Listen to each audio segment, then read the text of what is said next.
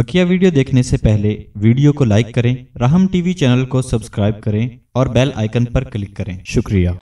ये जो है सेगमेंट जिसमें हमें फ़िक़ फतावा पर गुफ्तु करते हैं और फ़ुक़ इस्लाम के वाक़ात आपसे शेयर करते हैं ताकि हम उसको मशल राह बनाएँ।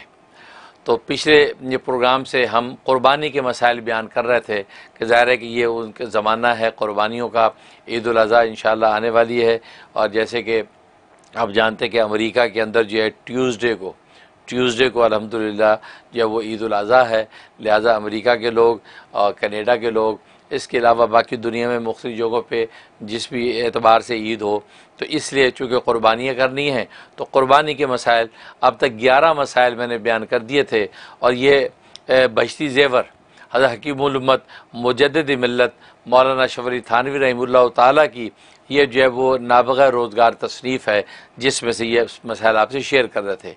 आज हम आपसे शेयर करते हैं मसला नंबर बारह। बकरी, बकरा, भेड़, दुम्बा, गाय, बैल, भैंस, भैंसा, ऊँट, ऊँटनी, इतने जानवरों की क़ुरबानी दुरुस्त है। ये जो जानवर ज़िक्र किए हैं, इस काइंड की जो जानवर हैं, बस इनकी क़ुरबानी दुरुस्त है।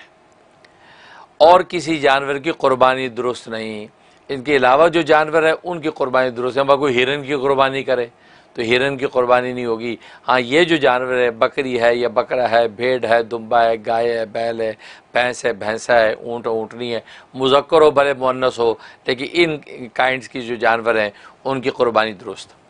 मसला नंबर तेरह, गाय, भैंस, ऊँट में अगर सात आदमी शरीक होकर क़ुरबानी करें तो भी दुरुस्त है।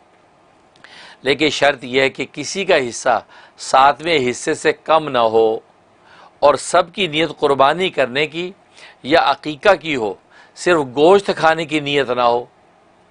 अगर किसी का हिस्सा सातवें हिस्से से कम होगा तो किसी की भी क़ुरबानी दुरुस्त ना होगी। ना उसकी जिसका पूरा हिस्सा है, ना उसकी जिसका सातवें से कम है।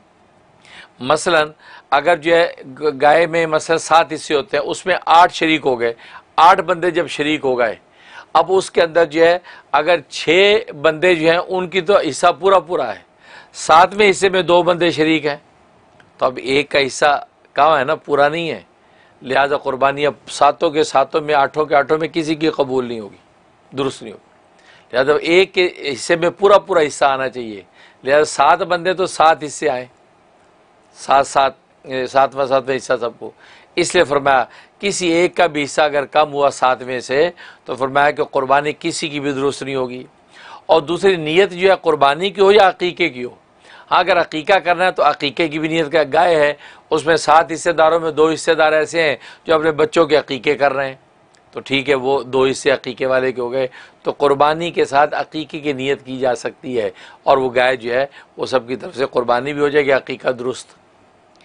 लेकिन अगर उसके अंदर एक बंदे की नीयत गोश्त खाने की है मतलब वो इसलिए शामिल हो गया कि चलो यार मुझे गोश्त चाहिए, इसलिए उसने जो है एक हिस्सा डाल दिया तो उसकी नीयत ना कुर्बानी करने की है और ना अकीका करने के लिए, बल्कि जो है गोश्त कहते बाज़ार से भी गोश्त लेना ही मैंने जाके, चलो मेरा एक हिस्सा रख लो यार, गोश्त मिल जाए मुझे, मैं हफ़्ते दो हफ़्ते का गोश्त स्टोर कर लूँगा। तो उसकी गोश्त खाने की नीयत है, इबादत की नीयत नहीं है तो नतीजा क्या होगा, किसी की भी कुर्बानी दुरुस्त नहीं होगी। तो देखो इज्तिमाही कुर्बानी में ये तो एडवांटेज होता है कि इंसान को पैसे थोड़े देने पड़ते हैं। लेकिन इसमें यह भी नज़ाकत होती है कि अगर इन सात में से किसी एक आदमी की नीयत भी ख़राब हुई तो नतीजा क्या होगा? किसी की कुर्बानी भी कबूल नहीं होगी।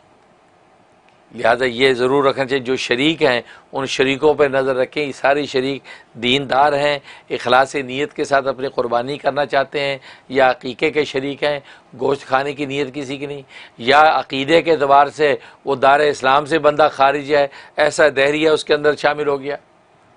ऐसा आदमी शामिल हो गया, जो जो है जो वो नसूस कतिया की रोशनी में मुसलमान ही नहीं है, वो तो काफिर है। वो शाम मसल कादियानी अब सात हिस्सेदारों में दो कादियानी शामिल हो गए। तो किसी भी की भी कुर्बानी दुरुस्त नहीं होगी सब का जो है वो कुर्बानी ज़ाया हो जाएगी। इसलिए इस चीज़ का ख्याल रखना चाहिए। मसला नंबर चौदह। अगर गाय में सात आदमियों से कम लोग शरीक हों, जैसे पाँच आदमी शरीक हुए या छः आदमी शरीक हुए, और किसी का हिस्सा सातवें हिस्से से कम नहीं, तब भी सबकी कुर्बानी दुरुस्त है। अब देखो, पाँच आदमी शरीक हुए सात हिस्सों वाली गाय में, और पाँच आदमियों के ये सातों हिस्से। अब ज़ाहिर है कि जब वो तकसीम होंगे तो ये हिस्से से ज़्यादा ही होंगे कोई कोई ये सातवें हिस्से से कम तो नहीं होगा। पाँच आदमी हैं, जब उनको तकसीम किया जाएगा गोश्त तो गाय के एक हिस्से से ज़्यादा गोश्त नसीब मिलेगा ना उनको। लिहाजा, चूँकि हिस्से कम नहीं हो रहे हैं, इसलिए ये कुर्बानी सबकी दुरुस्त। और अगर आठ आदमी शरीक हो गए तो किसी की कुर्बानी सही नहीं होगी, क्योंकि आठ आदमी हो जाएँ और सात हिस्से तकसीम करने हैं तो एक पूरा हिस्सा तो किसी को नहीं मिलेगा ना। लिहाजा जो कुर्बानी उनकी, जो वो ज़ाय हो जाएगी। मसला नंबर पंद्रह।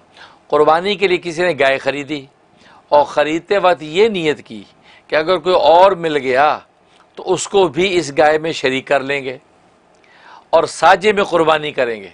गाय ख़रीद ली पहले से।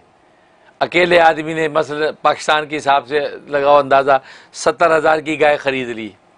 अब गाय सत्तर हज़ार की ख़रीद ली, ये सोच के कोई और मिल गया हिस्सेदार तो उसको शामिल कर लूँगा। कोई कि दस हज़ार का हिस्सा एक को दे के शामिल कर लूँगा। अच्छा साजी में कुर्बानी करेंगे। इसके बाद कुछ और लोग उस गाय में शरीक हो गए तो ये दुरुस्त है। अब एक आदमी कहते यार, मुझे एक हिस्सा चाहिए, उससे दस हज़ार ले लिए, शामिल कर लिया। दूसरा आया कि यार मुझे भी चाहिए, दस हज़ार ले लिए शामिल कर लिया। इस तरीके से और हिस्सेदार शामिल हो गए तो ये कुर्बानी बिल्कुल दुरुस्त है। और अगर ख़रीदते वक्त उसकी नीयत तो शरीक करने की ना थी, ठीक, बल्कि पूरी गाय अपनी तरफ़ से कुर्बानी करने का इरादा था तो अब उसमें किसी और का शरीक होना बेहतर तो नहीं है। बेहतर नहीं है किसी और को शरीक करे, क्योंकि अपनी तरफ़ से पूरी गाय उसने ली थी। लेकिन अगर किसी को शरीक कर लिया तो देखना चाहिए कि जिसने शरीक किया वो अमीर है। जिसने शरीक किया, जिसने गाय खरीदी थी जिससे शरीक किया वो अमीर है कि उस पर कुर्बानी वाजिब है? या गरीब है कि जिस पर कुर्बानी वाजिब नहीं? वो अकेली गाय खरीदी, गरीब ने खरीदी या अमीर ने खरीदी थी? तो क्या अगर अमीर है तो तो बाद में शरीक करना उसका दुरुस्त है। वो औरों को भी शरीक कर सकता है। लिहाजा दस हज़ार लिए हिस्सा दे दिया, दस हज़ार लिए हिस्सा दे दिया, वो कर सकता है। लेकिन अगर वो आदमी जिसे गाय ख़रीदी थी अपनी तरफ़ से और बाद में शरीक कर रहा है तो वह अगर गरीब है तो फिर दुरुस्त नहीं है। इसको शरीक करने की इजाज़त नहीं है। अब आप कहेंगे, यार, ये क्या बात हुई? ये तो सेंस ही नहीं बनती। अमीर आदमी जो है, उसको तो आप शरीक करवा रहे हैं कि और बंदे शरीक हो सकते हैं। जो अकेला अमीर आदमी पूरी गाय अफोर्ड कर सकता है। गरीब आदमी जो बेचारा गाय अफोर्ड क्या, एक हिस्सा अफोर्ड नहीं कर सकता, उसको आप औरों में शरीक होने की इजाज़त नहीं दे रहे हैं। क्यों? अस क्यों का जवाब यह है कि असल में अमीर आदमी जब गाय ख़रीदी तो अमीर आदमी है, उस पर वैसी कुर्बानी वाजिब है, ठीक है ना? लिहाजा वो एक हिस्सा कुर्बानी का तो उस पर वाजिब रहा। अब बाकी हिस्सों के लिए वो दूसरों को कहता है कि आप शरीक हो जाएँ। अब वो बाद में लोग शरीक होना शुरू हो गए तो वो दुरुस्त। क्यों? इसलिए उस पर तो अपना हिस्सा ऑलरेडी वाजिब है ही। लिहाजा अपने वाजिब को अदा कर रहा है। लेकिन गरीब आदमी गरीब आदमी जब गाय को ख़रीदता है अपनी तरफ़ से तो गरीब आदमी जो है, उस पर कुर्बानी वाजिब ही नहीं थी। उस पर ना एक हिस्सा वाजिब, ना दो हिस्से वाजिब वाजिब नहीं थी। लेकिन उसके बावजूद उसने गाय अपनी तरफ़ से कुर्बानी करने के लिए ख़रीद ली। तो इसको कहते हैं कि इसने, गोया कि नफिल था, उस नफिल को अपने ऊपर लाजिम कर लिया। ये गाय नज़र की गाय बन गई। नज़र की गाय बन गई, गोया कि इससे खुद जो है गाय खरीद कर अपनी जर कुर्बानी करने की नज़र मान ली है। और नज़र मानने से पूरी की पूरी गाय नज़र हो गई, पूरी गाय मंजूर बन गई। अब पूरी गाय गरीब की तरफ़ से अब अल्लाह के रास्ते में जाएगी, इसमें अब किसी और को शरीक नहीं कर सकता। ये वजह है। तो गरीब पर तो शरीयत ने पहले से वाजिब ही नहीं की, इसे खुद ज़बरदस्ती अपने ऊपर वाजिब किए ख़रीद के। और उसूल शरीयत का लाजिम नफल भी शुरू, के नफिल जो है वो वाजिब हो जाता है, लाजिम हो जाते हैं। लिहाजा पूरी की पूरी गाय जो है ये मन्नत की और नज़र की गाय बन जाएगी। पूरी गाय गरीब को अपनी तरफ़ से करनी पड़ेगी। लेकिन गरीब अमीर आदमी पर पूरी गाय इसलिए वाजिब नहीं, उसके ऊपर पहले से हिस्सा वाजिब है, और उस वाजिब की अदायगी के लिए गाय खरीद रहा है। लिहाजा शरीयत उसको पहले से वाजिब करके बांधा हुआ है। और गरीब को छोड़ा हुआ था, उसने खुद उखली में सर दिया। और उखली में सर देगा तो डंडा पड़ेगा। उखली में सर देगा तो डंडा पड़ेगा। लिहाजा उसने खुद अपने ऊपर लाजिम करके नज़र की गाय बना दी है। और नज़र जो है, वो मुन हो गई। अब ये मुन नज़र की पूरी गाय इस गरीब को देनी पड़ेगी। इस मसले को अच्छी तरह समझ लो। क्योंकि लोग ये कहते, यार, ये तो सेंस नहीं बनती अमीर आदमी को छूट दे दी गरीब को फंसा दिया। फंसाया नहीं, खुद फंसाया। फंसाया तो अमीर को शरीयत ने कि पहले से हिस्सेदार बनाया कि तुम पे वाजिब है। वो तो पहले से फंसा हुआ है। ये इसको तो आज़ाद रखा था, ना करता। अब खुद उखली में सर दिया तो डंडा पड़ेगा।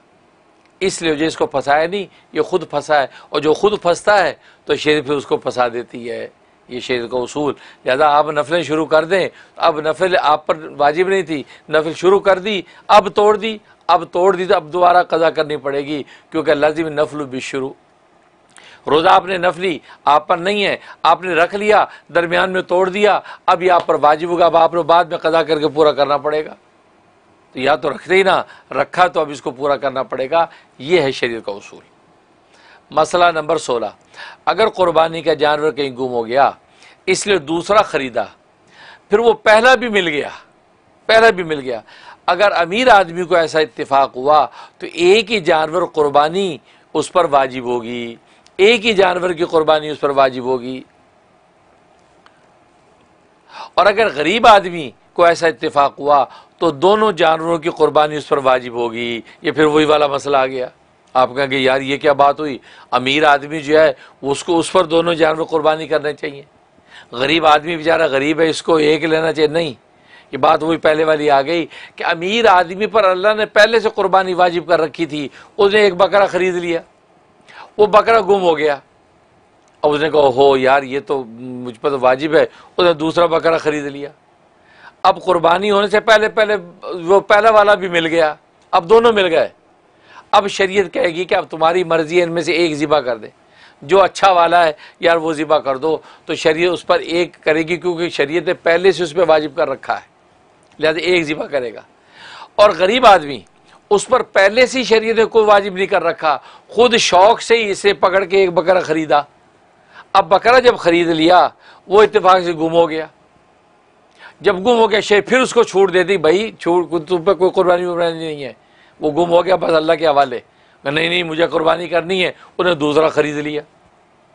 तो जब दूसरा फिर ख़रीद लिया, और पहला वाला भी मिल गया। तो चूँकि ये गरीब आदमी था, इस पर वाजिब नहीं थी, इसने खुद वाजिब की अपने ऊपर। तो ये नज़र का जानवर बन गया। पहला बकरा भी नज़र का जानवर बना, दूसरा भी नज़र का बन गया। दोनों नज़र मुन के जानवर हो गए। लिहाजा इसको अब दोनों अल्लाह के रास्ते में नज़र करने पड़ेंगे। अब ये किसी एक को नहीं रख सकता।